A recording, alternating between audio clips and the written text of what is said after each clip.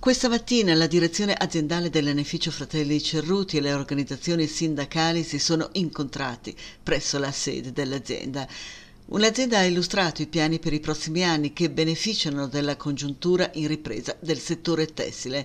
La partecipazione a Milano Unica, gli scorsi 1 e 2 febbraio, ha dimostrato interesse e apprezzamento per le nuove collezioni da parte dei principali clienti, contribuendo a consolidare il rilancio sempre più internazionale del brand.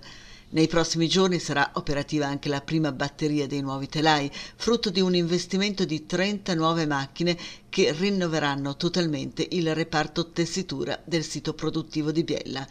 Di concerto al piano di investimenti necessari per il rinnovamento della struttura produttiva e il rafforzamento della posizione commerciale, l'azienda intraprende un processo di evoluzione della sua struttura organizzativa, rendendola più snella e più focalizzata ed incrementando efficienza e competitività. In questo processo di riorganizzazione sono coinvolti 30 addetti che avranno accesso agli ammortizzatori sociali previsti.